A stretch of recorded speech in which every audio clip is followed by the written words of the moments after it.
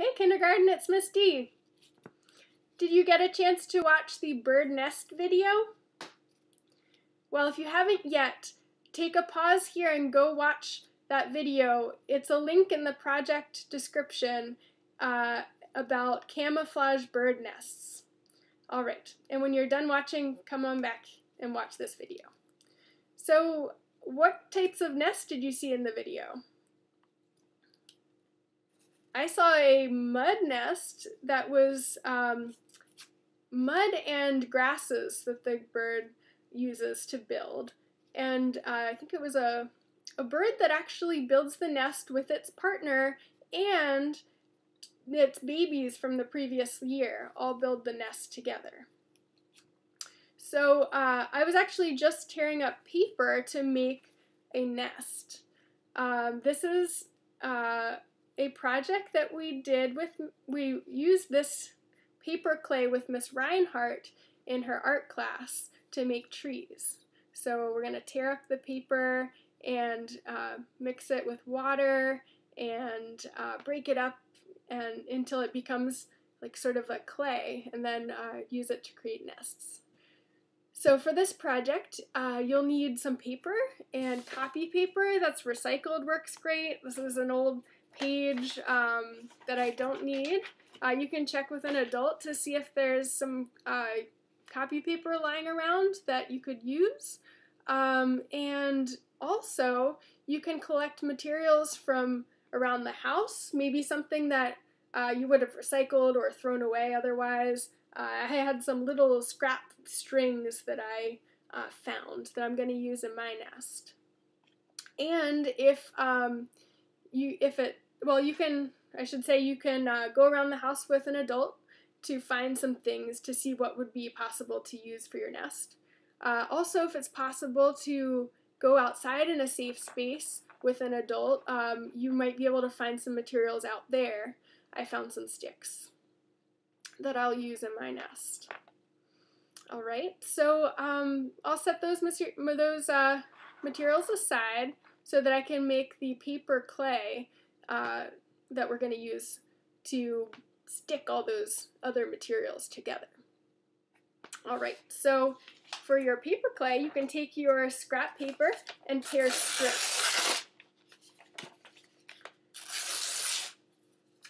Really going to tear that paper up into small pieces. I like to start out by tearing strips of paper that I tear into smaller pieces. Okay. See how small? They're getting smaller and smaller. Using just my little fingers to tear little bits. And then I'm going to make a pile. I'm going to keep tearing.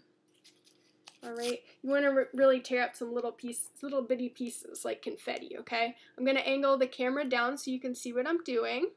Um, so I have my paper that I've already torn before this video so that we can save some time. And I also have some water here too. So you're going to need a little uh, container with some water. Alright, so once you've torn up like about a whole sheet of paper or even two sheets of paper um, into these really little pieces. Okay, really spend some time seeing how teeny tiny you can make them. Then, once you have teeny tiny pieces, we're going to add them to our water, okay? And I'm gonna mix it up. All right, I'm gonna keep tearing. So now that the, the paper is wet, it's going to start to break apart It's going to soak up the water and get soggy and uh, going to be easier to break apart. So you're just going to keep tearing up all those pieces. Spend a little time really breaking it up. It should, uh, eventually it should start looking like oatmeal, okay? I've set some aside here because you can actually, you can let it soak for a little bit and that helps um, to let the, the fibers in the paper break up. I have some paper here that I've already um, let sit for a little while and broken up with my fingers. Um, so I'm going to pull that out now. All right, so I'm still going to break that up. It's really got to be, it's got to be really like oatmeal, not like confetti, okay? Turn it from the little confetti pieces into real mush. Okay, it's going to look pretty uh, wet and um, soggy. Think about, so this actually, when you break up the paper like this, it's called paper pulp. And paper pulp is what paper looks like before it gets pressed into a sheet, which is what we use to write and draw on. All right, so you're really gonna break this up. And then once you have this, like, really like oatmeal, you really wanna smush it up. And I probably would spend a little more time with this. If I, maybe after the video is done, I'll work on this a little bit more.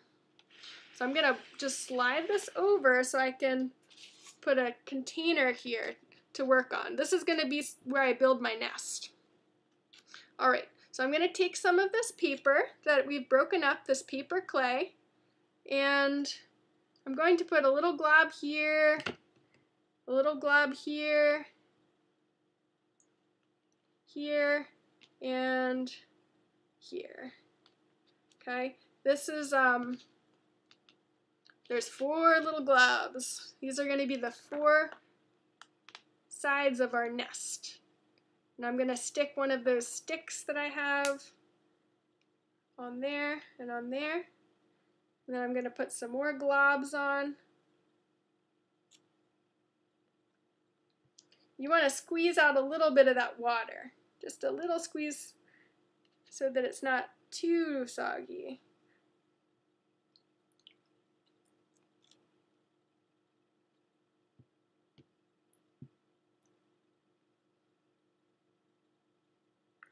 All right. And then I'm going to stick some other sticks on and put some paper clay on those.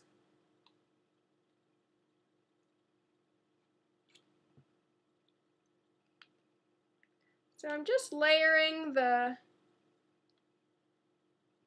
sticks and the paper clay. And then I'm going to stick another stick on there. I'm trying to make kind of a little, I'm going to stand up so I can see, a little um, nest with those pieces. So it should have a little spot for the bird to sit in and yeah so this is going to get kind of squished around I want to add some other things like I'm going to add the string in here. I'm going to wrap it around like the bird does because the bird kind of tucks those uh, pieces of grass in with its beak. And I'm going to push that paper clay around it okay? Paper has some natural sort of, um, there are some glues and things that are added to the paper when it's getting turned from pulp into a sheet of paper. So when this paper dries, it will it'll stick together a little better than it does when it's wet.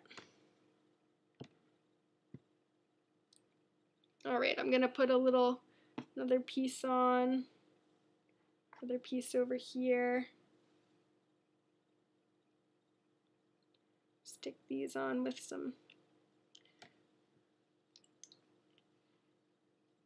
And you can find whatever materials you have around your house. It doesn't have to be strings and sticks. It could be anything you find.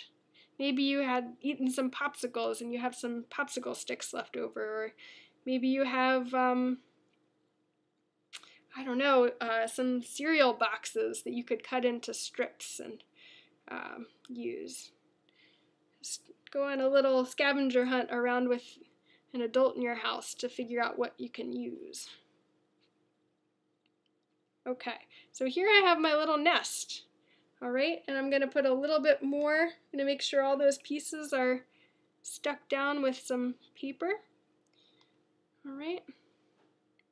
And I'm probably also, I'm going to kind of gently push all those fibers together to make that nest. Kind of just tap it, squish it together so that those all stick. Just like um, to push everything together. All right, so that is my nest. You can see it's got a little extra water. I'm drain some of that off. You can see it's got a little inside part where the bird would sit and put their eggs. And then it's built with the string and the sticks or whatever materials you find. All right, so when you're done with your nest, you can post a picture on Edmodo because it's great to see what other children have made and your teachers would like to see what you've been working on. All right. All right, happy nest building.